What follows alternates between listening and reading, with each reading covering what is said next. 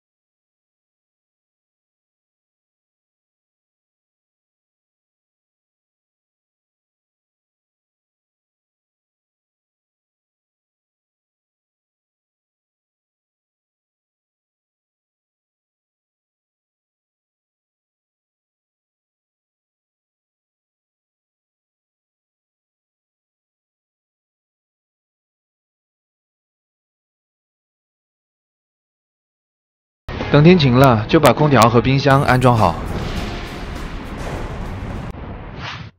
我制作了五台空调，一台冰箱。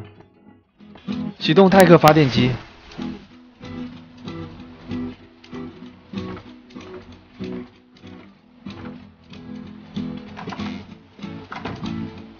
通电成功了，哦，凉爽多了。泰克发电机实在是太方便了，连线都不需要。不过，为了以防万一，我制造了一个风力发电机。我的能量元素迟早有一天是要用完的，有了风力发电机，就能帮助我保持通电。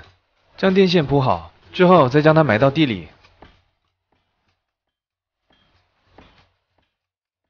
再制作一个汽油发电机，用来给我的工业研磨机和工业烤箱供电。好了，忙了一整天，今天的任务就这样结束吧。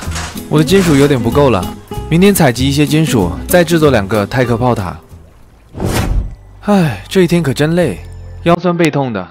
嗯，天快黑了，活动活动筋骨。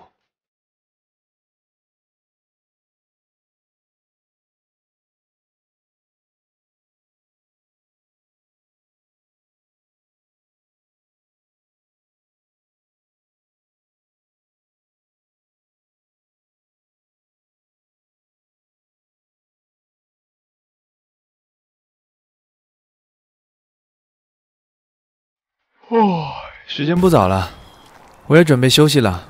晚安，做个好梦。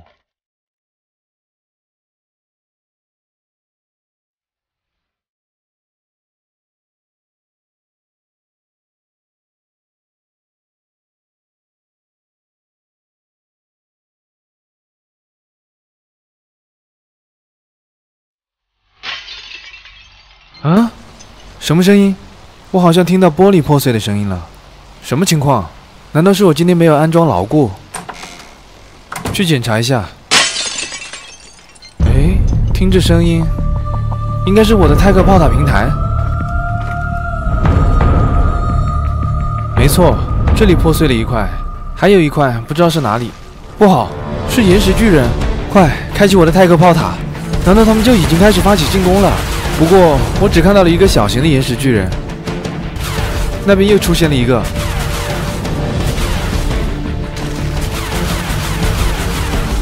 泰克炮塔太厉害了，几秒钟就将他们杀死了，一切都恢复了平静，他们也没有再出现了。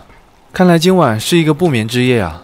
彩旭说他们一周之内就会对我发起一大波的进攻，现在只过了不到四天，难道这一波进攻就正式开始了吗？彩旭要什么时候才能醒过来呀？如果他在的话，他还能帮我感应到地面的电磁波强度，了解他们的进攻规模和位置，那样我才能更好的抵御这一波岩石巨人的进攻啊！可是，唉。现在只能靠自己了。